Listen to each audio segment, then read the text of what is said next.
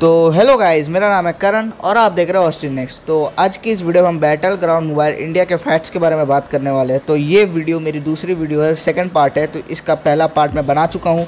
अगर आपने वो वाला पार्ट नहीं देखा है तो आप जाके ज़रूर देखिए, उससे आपको पता चलेगा और फैक्ट्स के बारे में। और वो कुछ मेन मेन फैक्ट्स भी है, जैसे उसमें मैंने मतलब कि रिक्वायरमेंट्स के रिकमेंडेड रिक्वायरमेंट्स उन सब के बारे में बताया है लॉन्च डेट इन सब के बारे में बताया है। तो पहले जाके आप उसको चेकआउट कर लीजिएगा।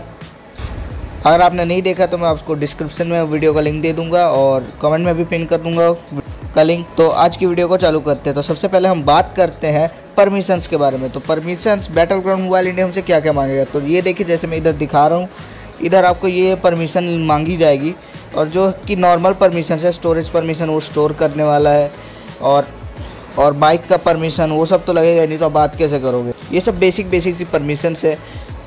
तो और बात करते इसके अभी सबसे इंटरेस्टिंग चीज़ के बारे में, जो मेरे को भी लग रहा है बहुत ही इंटरेस्टिंग होने वाली है कि इसमें हैप्टिक फीडबैक का सपोर्ट देखने को मिल सकता है। हैप्टिक फीडबैक अगर आपको मैं बताऊँ क्या होता है तो जैसे आप कोई भी फ़ोन में ही होता है, वो सपोर्ट अलग अलग सब फ़ोन्स में नहीं मिलता है। अगर आप फ़ोन को ऐसे आप कुछ भी बटन प्रेस करते हो, ऊपर नीचे स्वाइप, वो अलग से एक फीडबैक मिलता है, जैसे अगर टक टक की आवाज़ नहीं आती, जैसे टाइपिंग करते समय, एक फीडबैक सा मिलता है आपको। मोटरोला के फ़ोन में हैप्टिक फीडबैक बहुत सही मिलता है तो इसमें भी हैप्टिक फीडबैक देखने को मिलेगा। तो बहुत सही चीज़ है, मज़ा आएगा। मैं तो सबसे इंटरेस्टिंग हूँ इसी चीज़ के बारे में हैप्टिक फीडबैक्स के बारे में। और अब बात करने वाले इस गेम क्या पेड होगा या फ्री होगा? तो सिंपल सी बात है, जैसे पहले आया था पबजी मोबाइल, तब वो फ्री गेम था तो ये भी ऑफकोर्स फ्री ही होने वाला है। तो आपने कभी सोचा होगा कि गेम्स फ्री तो होते, वो पैसा कहाँ से कमाते हैं? तो गेम्स पैसा कमाती है आपके in game currency in game purchases जैसे कोई रॉयल पास उसमें रॉयल पास होता है, पबजी में रॉयल पास खरीदते हैं।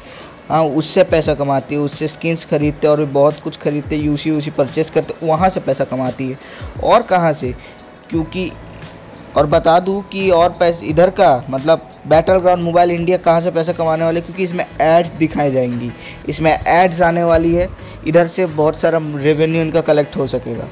और हम बात करते हैं इस गेम में। आप शुरुआत में जब घुसेंगे तो आपको सबसे पहले एक परमिशन आपको लेनी पड़ेगी। उसमें होगा आपको एज लिमिट डाल दिया गया कि पेरेंट्स कंसेंट से ही खेल पाएँगे। अगर अगर अंदर 18 हो तो। और सेम एज लिमिट आपको उसमें भी एपेक्स लेजेंड में भी देखने को मिल जाता है जब वो बीटा वर्जन रिलीज़ हुआ था इंडिया में। पर वही सेम बात कोई इज़्ज़त नहीं है इसकी। कुछ एट, अंडर एट्टीन हो या ओवर एट्टीन हो क्या उसमें कोई देख थोड़ी ना रहा। सो so, ये एज लिमिट बस नाम भर का है। सबको पता है क्या होने वाला है और लोग क्या जबान मतलब कौन सा वाला ऑप्शन चूज़ करने वाले हैं और उनकी एज क्या होने वाले सबको पता है। तो तो अब बात करते हैं इसके थीम के बारे में। तो इसका थीम कैसा होगा? तो जैसे कि आपको पता battle ground mobile India India के अलग से सेपरेट कर दिया। मतलब ये इंडिया के लिए स्पेशली आ रहा है। जैसे चाइना में पबजी को पहले चाइना में ही बैन कर दिया गया था तो उसमें निकाला गया था गेम ऑफ़ पीस जो सिर्फ़ चाइनीज़ प्लेयर्स के लिए अलग से है, और उसमें सारे अपडेट्स पहले देखने को मिलते थे। जो भी अपडेट हो, सब पहले चाइनीज़ वर्जन में आते थे, उसके बाद धीरे धीरे पूरे ग्लोबल और के वर्जन में लॉन्च होते थे।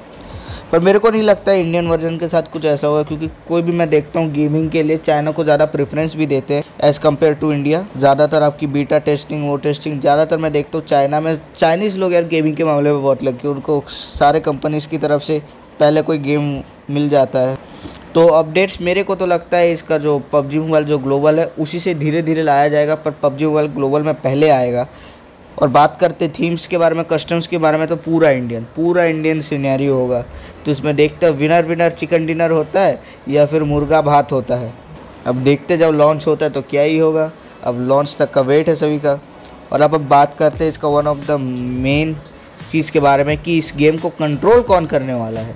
तो जैसे कि जो न्यूज़ सामने आई है, जो मैं आपको बता रहा हूँ, वही, वो ये है कि जो टीम पबजी मोबाइल को कंट्रोल करती है, वही टीम क्राफ्टन के नाम से battle mobile ground Battleground Mobile को कंट्रोल करने वाली है।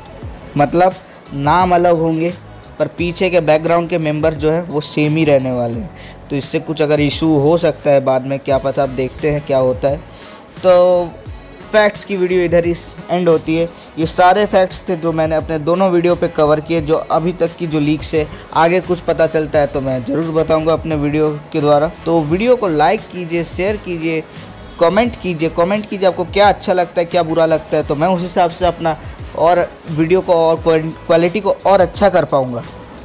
तो ये, मिलता है नेक्स्ट वीडियो पे। तो मैं सोच रहा था कि नेक्स्ट वीडियो करूँगा जो पबजी मोबाइल और जो बैटल ग्राउंड मोबाइल है, उन दोनों का कंपेयर कि कितना सेम कितना अलग होने वाला है। तो मिलते हैं अपने नेक्स्ट वीडियो में, तब तक के लिए बाय बाय